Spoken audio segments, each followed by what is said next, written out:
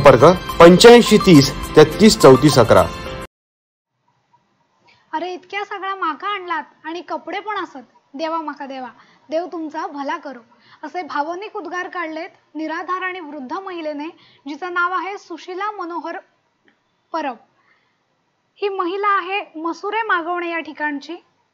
महिला दिनाचं औचित्य साधून मसुरे येथील पावणाई महिला स्वयंसहाय्यता बचत गट या वृद्ध निराधार महिलेसाठी जीवनावश्यक वस्तू आणि कपडे घेऊन गेला.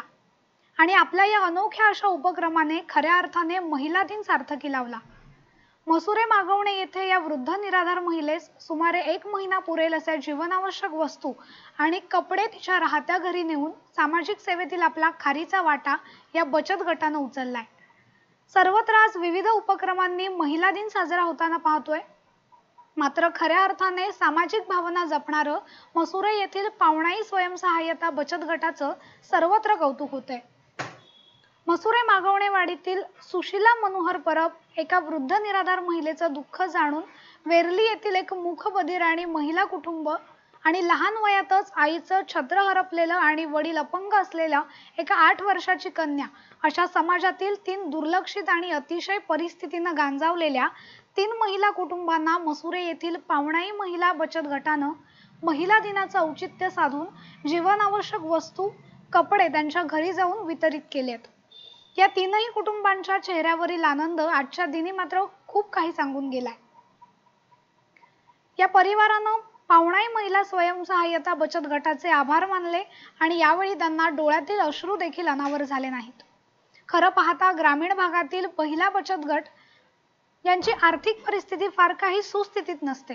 परंतु गेले वर्षभर विविध उपक्रमातून या बचत गटाने जे काही तुटपुंजे आर्थिक उत्पन्न मिळवले त्या उत्पन्नातून त्यांनी सामाजिक निराधार अशा अबलांना मदत करण्याचं ठरविलंय.